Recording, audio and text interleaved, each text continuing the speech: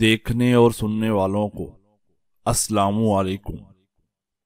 ایک لڑکا جب تیرہ سال کا ہوا تو اس کے باپ نے اسے بلایا اور ایک پتا ہاتھ میں پکڑا کر بولا کہ جاؤ، ادھر ایک بہت دنا آدمی رہتا ہے۔ اس کی حکمت دنیا بھر میں مشہور ہے۔ اس کے پاس جا کر اس سے یہ سیکھو کہ خوشی کیا ہے اور کیسے اسے پایا جا سکتا ہے۔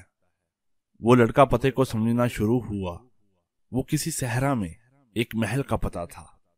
لڑکا نکل کھڑا ہوا۔ وہ چالیس دن صحرا میں سفر کرتا رہا۔ آخر کار وہ اس پتے پر پہنچ گیا۔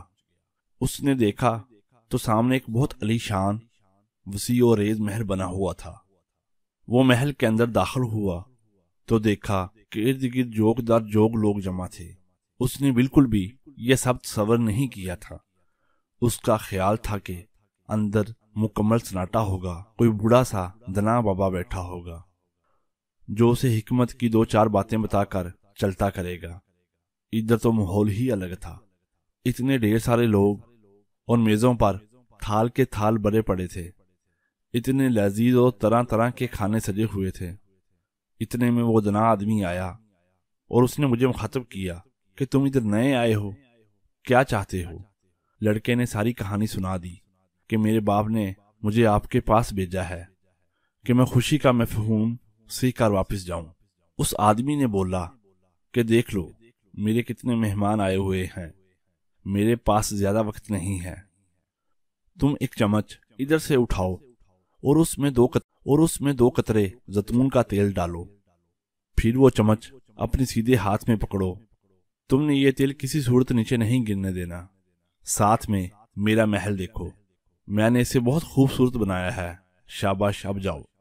جب محل دیکھ لو گے تو پھر میرے پاس آ جانا۔ پر یاد رہے، تیل کی ایک بوند بھی نیچے نہ گرے۔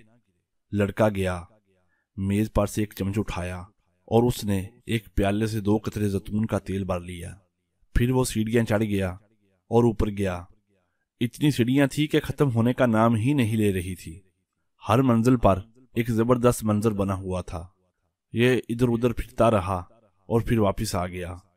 اس آدمی نے جب اسے دیکھا تو اپنے مہمانوں میں سے اٹھایا اور اسے بولا کہ ہاں بھائی، اب ذرا مجھے بتاؤ کہ تم نے کیا دیکھا۔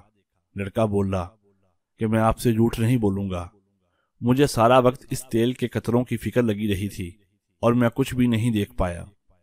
میں اوپر گیا، نیچے آیا۔ کسی ایک چیز کو بھی آنکھ بار نہیں دیکھ سکا۔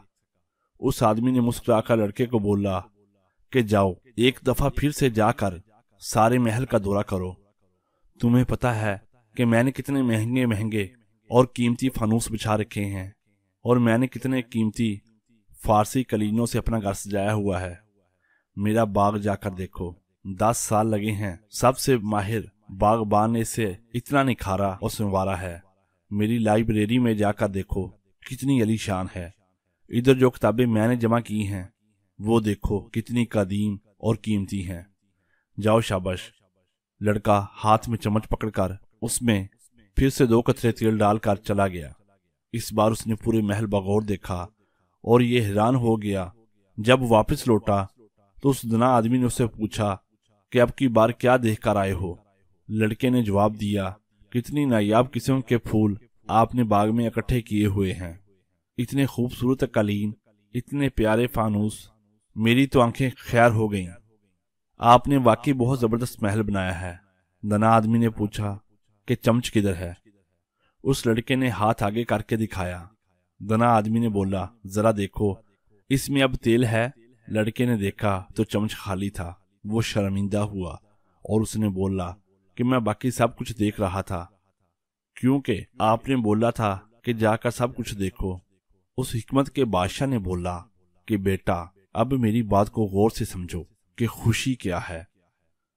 تم جو اتنی دور سے میرے پاس یہ سبق سیکھنے آئے تھے کہ خوشی کا محفوم کیا ہے، یہ ایک گہری بات ہے۔ اور اس کو سمجھانے کے لیے ہی میں نے تم سے یہ سب کچھ کروایا۔ خوشی یہ ہے، اس چمچ سے یہ کترا بھی نیچے نہیں گرنا چاہیے اور تم اس دوران جتنا کچھ دیکھ سکتے ہو، اسے دیکھ بھی لو۔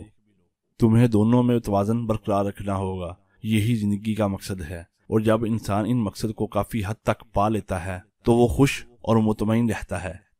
اس کہانی میں اصل سبق یہی تھا کہ چمچ میں تیل کے دو قطرے انسان کا ایمان ہے۔ اس ایمان کو خدا نے ہر انسان میں پرویا ہے۔ انسان دراصل سانچہ ہے۔ ہر سانچے میں یہ دو قطرے ایمان کے پروئے گئے ہیں۔ جب ساری روحوں کو تخلیق کیا گیا پھر رب نے سب کو دنیا کے امتحان میں ڈال دیا۔